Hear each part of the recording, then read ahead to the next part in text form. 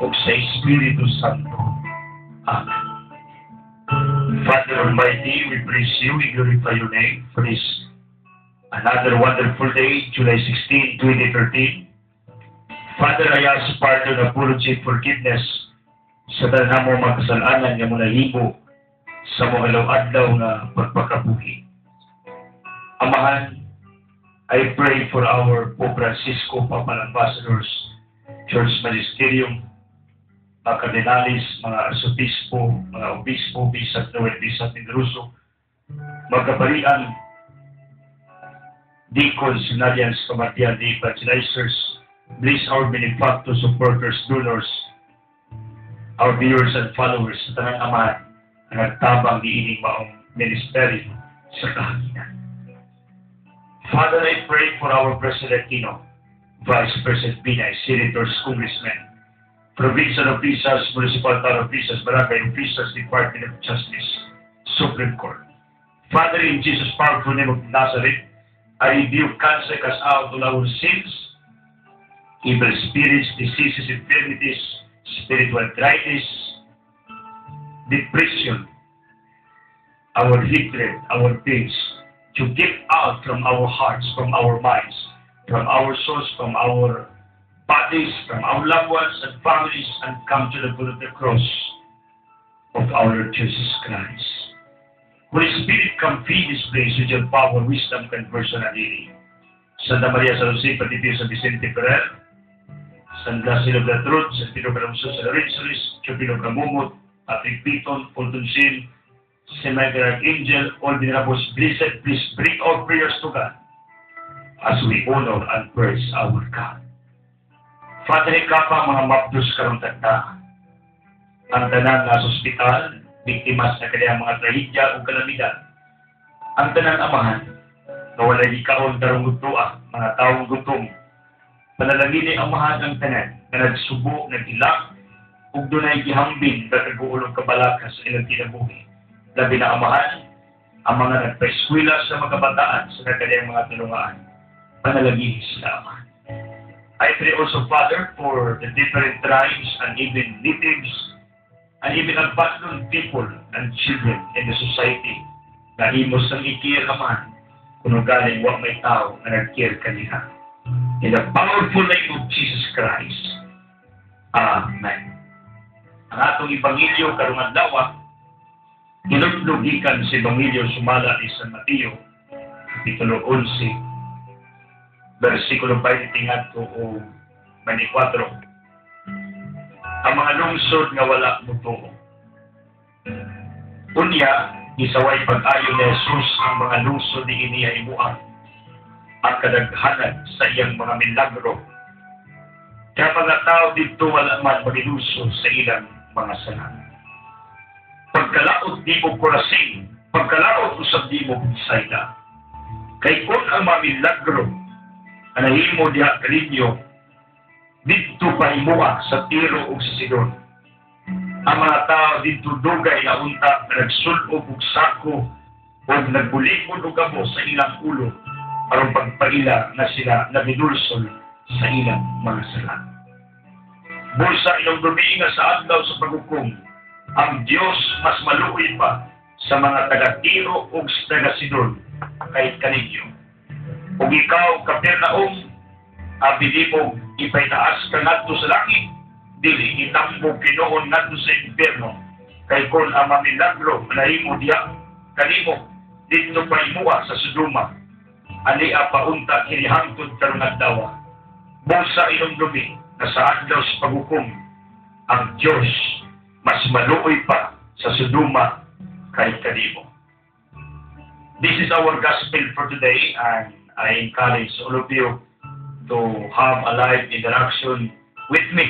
Meaning kabuntagon and you can text me your line to 841 49490 or you can text me your line to 66 07505 o doon na sa tayo na pagtawag na number na pwede mo, ano mo, mo interrupt 0915-755-1471 o sa smart 0928-2829 private.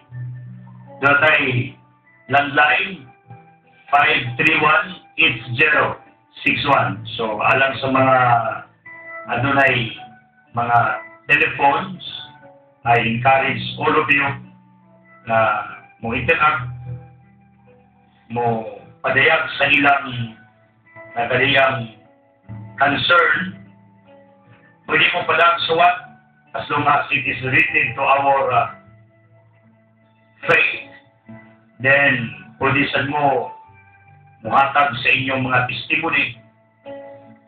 Niya mupadangat sa inyong mga opinions. O labaw sa tanan pwede mo mo pada sa inyong mga prayer request. Dining atong programa. By the way, karong adlaw gihandom nato ang kapistahan sa gitawag nato og Mount Carmel. Ang mga bilin sa Mount Carmel dining adlaw July 16 o mato dinhi the scriptures speak of the beauty of Mount Carmel in Galilee, where the prophet Elijah defended the faith of Israel in the living God. There at the beginning of the 13th century under the title of St. Mary of Mount Carmel, the order of Carmelites had its formal beginning. So, karon daw, ihandom nato ang Malgabirin diya sa Mount Carmel. In fact, kung atong tanawon ang Malgabirin sa Carmel adunay mensahe nga iyang ipaabot ngadto sa usa ka balaan nga mao si Saint Simon Stock. Protection in Danger. Dago libro din eh, The Faith Crusader sa pahina 42 nga nagingon din eh ang mahal nga birhen niadtong July 16 to 51 sa usa ka santo nga mao si Saint Simon Stock mingon ang mahal nga birhen na si Kinsa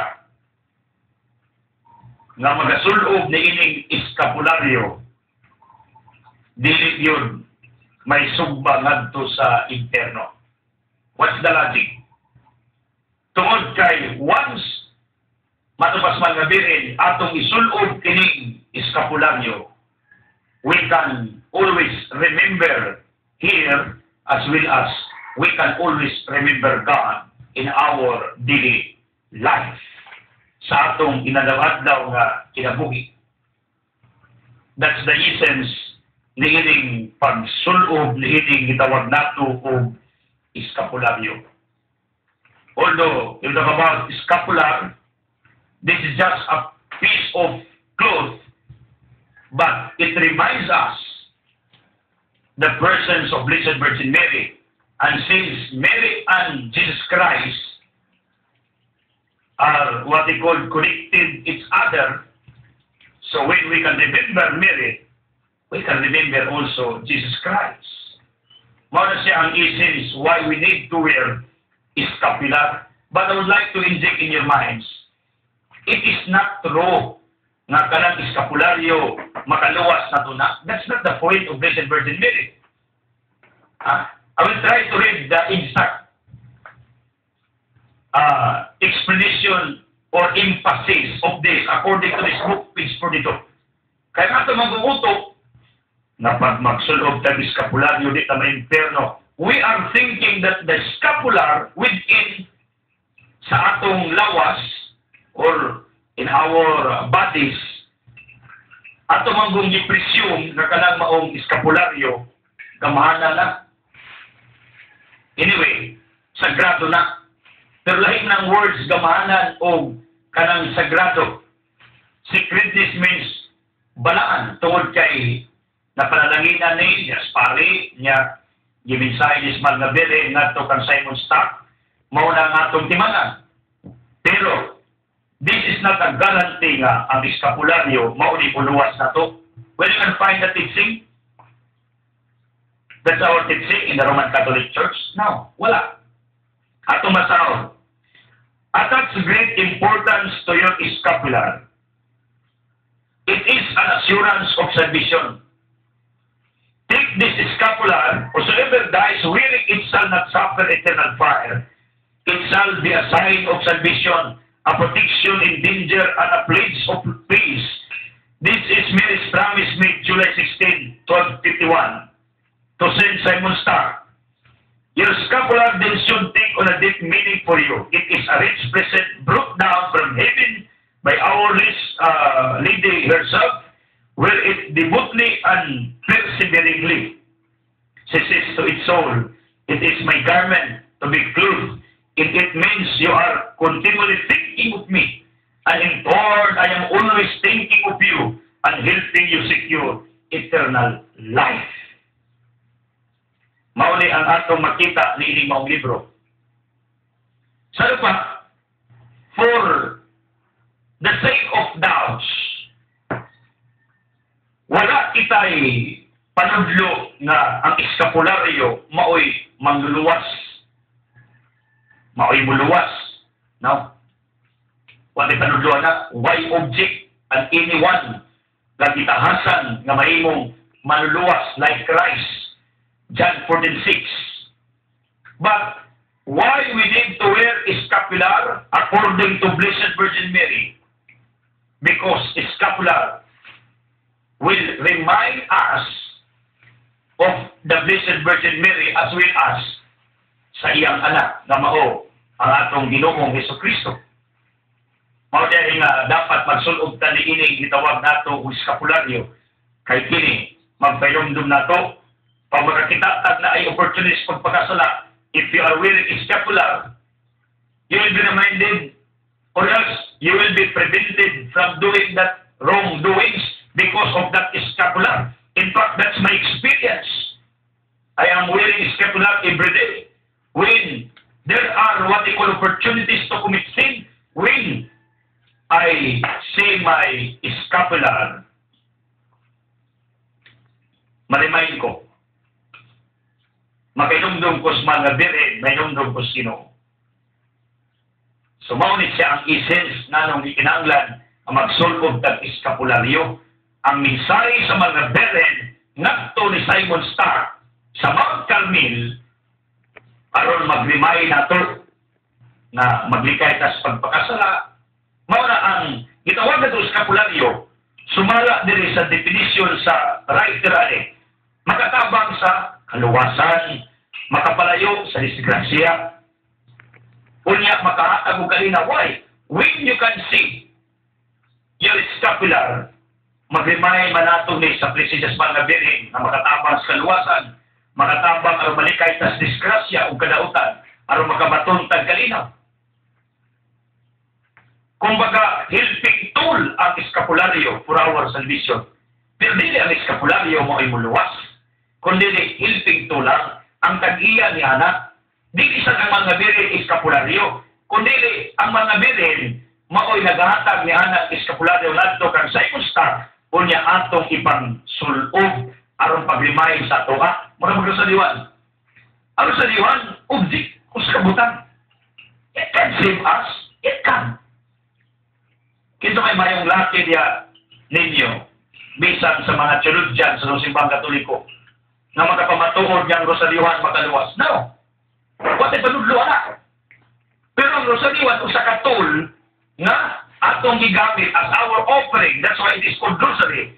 To offer it to our Blessed Virgin Mary. And once Blessed Virgin Mary is pleased for what we have offered to her, ang mga birhen magampo sa magadagang igayon for us for our salvation, for our healing, for everything.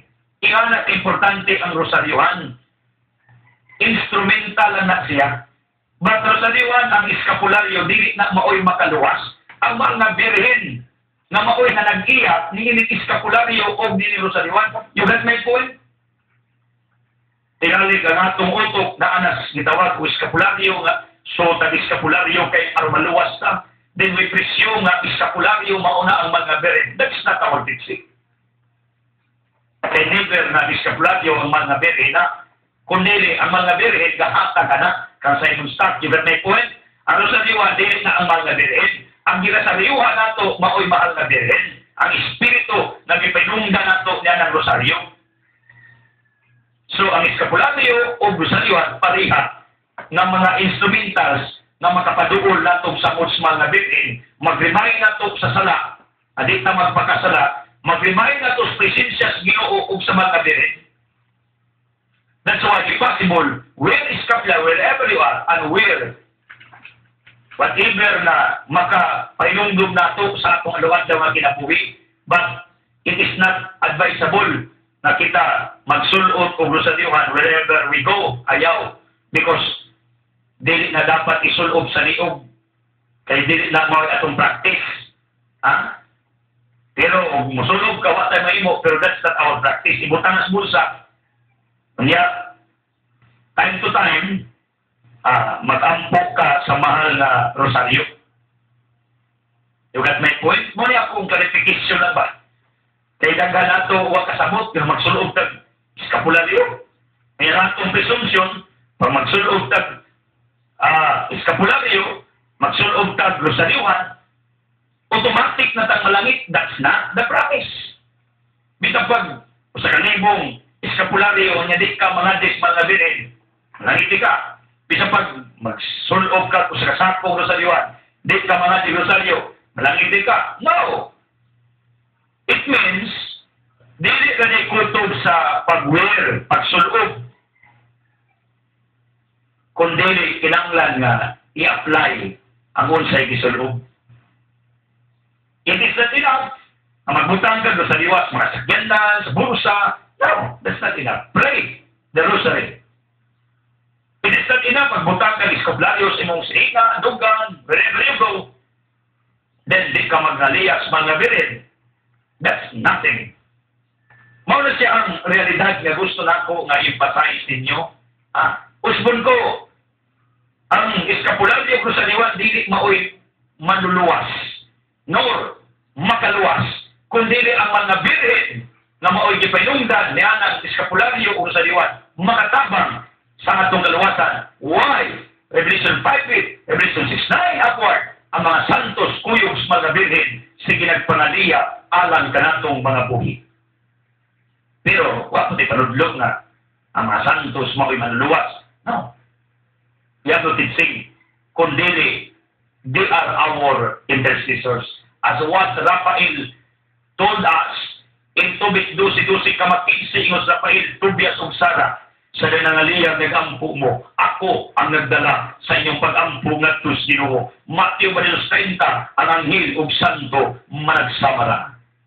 Sa si Rafael, usa sa pito ka kangilis, kuyog isan mi ka kangil ang patun sa agna. Nangaliya, umawi nagbitbit sa pag-ampo ni Tobias ug Sara. O Matthew 30, ang santo kangil maura. So therefore, ang mga santos angelis, tikampo din ang alang ka nato. Ngunit tinuod. So the more you are praying to Blessed Virgin Mary because you are reminded by your scapula, you are reminded by your different uh, rosary beads, then the more ang mga birhen mag-ampo alang ka nato. Mauna siyang importante na magsulot ang iining gitawag nato o eskapularyo niya magdaladala ang rosaryohan because it reminds us sa precious mga birhen. Ako nag-isay because today, tayo paidumdum, nagdinumdum ta, nagandum ta, ang simbahan ka paidumdum sa pistahan sa Mount Carmel, then, labi na ang pinakabukat sa Mount Carmel, tinigitawag nato of essence sa eskapularyo. On the other hand, aritas atong ibangilyo karong adlaw. Siguro alang sa itong mga viewers nakita ninyo Nanong si Brother Ilsel kabit-bit yung dakong libro. By the way, this book is the St. Jerome Biblical Commentary na libro. In fact, wala na ko ni mabasa totally. Pero most of the pages of this book, ako ni gibasa. Maulang, so to speak, daghan kaayong mga makita na tong mga katawan nga galibog ga duha-duha dagang mga tao nga mihatag sa ilang komentaryo kung disaka kung gipanudlo ninyo. Ha? Na mga tao nga ato makita nga ilana ang ilang mga perceptions, ang ilang mga pangunauna. Kabalo mo, si Brother Insel, master in copying. Kung sa may master in copying, anad ko mangupya sa lahing na authors. Ah, hindi nga nato makita. Sama ka naman, eskapularyo. At kinopya na ako nas utol sa Rosary Crusader nga libro, page 42. Somebody give it to me yesterday. Oh. Then, kining gitawag nato o ah St. Jerome Commentary. Maumri ang mga explanation o gubat sa kaniyang ebanghelyo nato. Ilang di opinion, umaon ni gisandigan sa dagang chuludjans, dagang chulugo, napakulang libro sa kong opisina. Ang dogmatic book ni Dr. Ludwig Uth, ang mga opisyal nga mga panudlo sa Katoliko, naa sa kong kamot. Paris ni, ni Messenger of Biblical Commentary. Nganong ikinanglan ni? Tungod kay kantong libro sa Dogmatic Fundamental of the Catholic Dogma. Mao to'y akong gihimong giya sa akong pagpadudlo nga dili ko diskaril. Mao di rason nagikaso ko sa taas ng panahon may nakita ba ang investigating team nga narudlo kong supat sa Katoliko? Wala. Sipya na. Because human is subject to error. Is it right? Kaysa may taong di masayog. Unang one or road ang taong buwan kung may siyang bakako na. But it's different if we talk about heretical teaching. What is heretical teaching? Supak na panudlo sa Katoliko. Wala sila nakita na. Because, honestly, I am guided with the fundamental dogma, uh, fundamental dogma of the Catholic Church by Dr. Ludwig Ott. And secondly, I am guided with the center of biblical commentary. Pulos mga scholars o theologians ang gamog na ani. Mga opinion nila. Ako ni Giparis. Mao ni ang dubukan sa ako mga panudlo everyday. Ano ako ni gibitbit tungod kay gusto na ako na masabta ninyo. Kung kining mga lungsod nga bisutan ni Kristo nga iyang gisaway asa ni? Ug unsa ni? Sumala diri sa Center of Biblical Commentary sa pahina 83 Doom of the Cities of Galilee. Meron din Luke makes it a part of the farewell words of Jesus to Galilee. Oh, nanamilit siya sa Galilea kay si Kristo at this very moment when this gospel happened, si Kristo hapit na rin siya ilan sa krus. So therefore, nanamilit na siya. Ngayon din, Matthew probably saw an opportunity to contrast the praise of John the Baptist with the reproach delivered against those who had seen much more of Jesus than John had. Hmm. Ang buti pasabot na ni na kontradiktory ni kining ubang pasahi din sa Ebanghelyo kay adto na may mga tao nga mibiliv ni Juan. Unya ang uban wa mo believe ni Kristo. So ang uban sa ilang panguna-una nabalik. Instead they will praise much or more to Jesus they John the Baptist more than Jesus. Mo ni point ni ining maong opinion sa mga scholars. Ingon diri nga Corazin Bethsaida Capernaum. Kining tulog ka mga syudad, cities, lungsod, mao ni ang sentro si Bangilyor gisaway ni ni Kristo. Kanya, may na po ni uban. Oh, anong imo man gigamit sa imong pundok, brother Ed, ni ato ni aging mga buwan, sa Pirnaong. uh, let's try to define, let's try to explain later. Ang advance na na una suban. Mayon the way of the three towns mentioned, Matthew has related no miracles except for Capernaum. So, ato makita nga matud pa sa Ebanghelyo Mateo, ang mga milagro gipanglimo sa makadagan ni kayo dito sa Capernaum. Tininagan katong bakol nga gipanakaw sa liyok sa Terpo. Ah, sa Mat sa Terpo, ah, dito to sa Capernaum. Katong dagang mga milagro ni Tabo. Unya, Corazin appears only here in Luke 11.13. It is identified with the Kerber Kirazi. Then, kini Bethsaida, mao ni ang home place ni Peter, Andres ug Felipe sumala sa 1.1.44. Home place, inoy-ana nila. The scene of the healing of a blind man in Mark 8.22. And here, the place of the multiplication of the loaves, Mark 6.45, kini Bethsaida. The name seems to have belonged to a fishing village on the shore of the Sea of Galilee and to a new city. Kini gitawag nato Capernaum. Founded by the Tetrarch Philip. Oh. So ato makita nga kining Corazin, kining Bethsaida, kining Capernaum, i-inject sa atong utok na ani sa gitawag natong yuta sa gitawag og Galilea. Ato si Kristo na imugsok Matidos 1.2 sa gitawag nato og Judea. Ang Judea nasakop niya na ang gitawag nato og Jerusalem. Nakuha ninyo, another province ng Judea, another province kining Galilea. So kining Galilea, sumala sa Matthew chapter 2, mauli ang gitawag og exile province ni Kristo.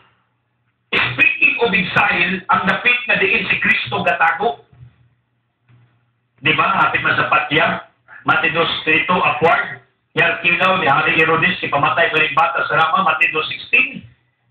Oh, mikya si Kristo, puyog ni Jose ni Maria. Asa man sila nagtago, asa dapit sila nagpadulong. Padulong sila sa Galilea. Exilean. And this province of Galilee, na tulong ka sila? O lungsod, Corazin, Bethsaida, Capernaum. Oh, lahi po itong natawhan ni Kristo. Hindi ato nabilong ang gitawag ko Jerusalem. Mauli ang atong makita na reality. Nanawa ko rin gipasay sa inyo. Tungod kay both these three cities nakatilaw sa gitawag nato o panalangin, milagro, kaluoy, gugma, o sa mga timaan sa gugma o gahom sa Ginoo nakatilaw. But you know what? Among these three cities in the land of Galilee, ang Capernaum mo ay pinakalindot o meaning. Because Capernaum in Greek word means village of consolation. Mo ang dapit ka din si Kristo adto mupahuway matuog gano. Tungod kay matud pas mga scholars diri. Daplinig baybayon usa ni ka resort. So the meaning itself of Capernaum is very good. That's why we adopted it few months ago. Capernaum, the village of consolation. But the problem is, the people who are living of these three cities were what they call having hardening of their hearts. Unsa man ang gitawag og hardening of their hearts? Ah, ang gitawag nato og hardening of their hearts kining katiga sa ilang kasing-kasing. Sa nakuha ninyo, Bethsaida, Corazin o Capernaum parehas ni sila nga mga syudad o lungsod sa probinsya sa Galilea. Ang dapit nga gitaguan ni Kristo. Silingan sa ni sa gitawag nato og Nazareth. The town where Christ grew up. Mao ni ang mga dapit sa Galilee. Oh. Pero ang pinakalindot sa pangalan sa tulo, or even four, including Nazareth, kini Kapernaum kay ang Kapernaum is a Greek word means village of consolation dapit asa ta mo parulay kay resort na. Pero ang problema kay bisan sa Mark 6:1 si Kristo gireject sa kagalingon niyang lungsod sa Nazareth. It is also proven in our gospel for today. Bethsaida, Corazin, Capernaum, mga dapit nga iyang gipangsangyawan, gipangbalihan, gipangusog, gipangbago, pero ato makita, despite of the efforts of our Lord Jesus Christ, majority of these four towns, Nazareth, Corazin, Bethsaida, Capernaum, kasagaran sa mga lumulupyo diha, ato makita nga dunay gitawag og hardening of their hearts. Speaking of hardening of their hearts, mga tiga ang ilang mga kasing-kasing. Larong tiga, klaro kay si Bangilyo, si Kristo mismo mingon, nga iyang gisaway, kining mga lungsura, kay ngano, wala man eh, maginulsol sa ilang mga kasalanan. Wala man eh, mubalik sa sabatan sa Dios kining maong mga tawana. Oni ang atong ma-describe ni ining maong ebanghelyo.